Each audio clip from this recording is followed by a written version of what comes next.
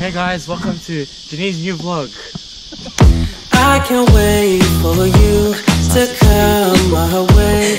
I've been far away, but I'll keep running just to find a way to you till then.